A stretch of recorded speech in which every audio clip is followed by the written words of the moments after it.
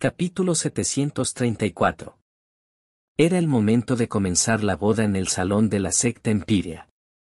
Lilia se retiró un poco el velo a escondidas para buscar a Jaime. ¿Dónde diablo se metió? No me habrá vendido y escapado, ¿verdad? Miró a su alrededor de forma frenética, pero él no aparecía por ningún lado. Llegó la hora. Los recién casados, por favor, gritó un gran maestro superior de la secta Empiria. Carlos miró a Lilia emocionado. Una vez terminada la ceremonia, irían al dormitorio. Entonces, cuando ella menos lo esperara, él le absorbería toda la energía negativa. Eso le ayudaría a saltar a través de múltiples niveles de cultivo y convertirse en un gran maestro de las artes marciales. No había muchos jóvenes en el mundo. Se emocionó aún más al pensar que podría convertirse en el gran maestro de las artes marciales más joven del mundo de las artes marciales.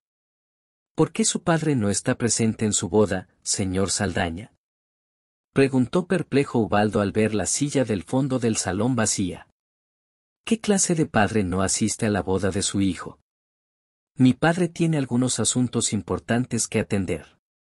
Hace medio mes que se fue, y pasará un tiempo antes de que regrese. En cualquier caso, esta boda es entre Lilia y yo.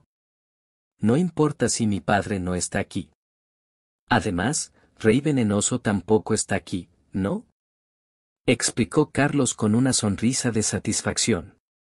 Ubaldo permaneció en silencio, aunque Lilia tomó la palabra. Se quitó el velo y dijo. Es mala suerte casarse cuando los dos padres no están aquí. Creo que será mejor que lo hagamos cuando vuelva tu padre, de ninguna manera iba a aceptar la boda y convertirse en su esposa. Y como no tenía ni idea de dónde había ido Jaime, era la única excusa que le quedaba. La expresión de Carlos se volvió fría. Te dije que mi padre no volverá pronto.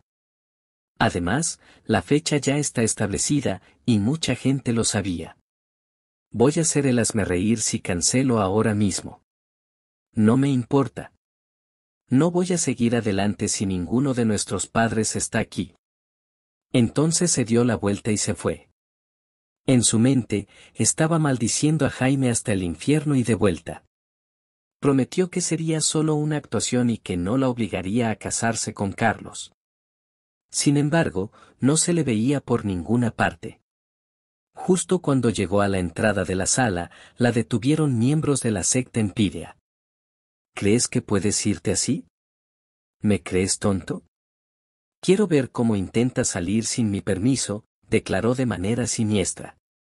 Pasó su mirada por delante de los temibles miembros de la secta Empiria. Todos ellos emitían una intención asesina. Entonces, se dirigió de nuevo a Carlos y le dijo. Este es un evento importante. Si vas a pasar por esto sin tu padre, significa que me estás despreciando. No voy a aceptar. Déjame decirte algo. No me importa si estás de acuerdo o no. Te vas a casar conmigo hoy. Esto es la secta Empiria, no Ciudad Maple. Incluso si estuviéramos en Ciudad Maple, seguiría sin tenerles miedo. Tiró su fachada y la amenazó. La secta Empirea era más fuerte que Ciudad Maple, y se encontraba en su territorio. En el momento en que terminó, los miembros de la secta Empirea sacaron sus armas. Esto sorprendió a Lilia y a los miembros de Ciudad Maple. No tenían ninguna posibilidad de ganar contra ellos en su territorio.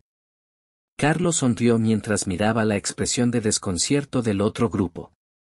Te amo de verdad, Lilia. Además, el rey venenoso aprobó nuestro matrimonio. ¿No es bueno que nuestras familias colaboren entre sí?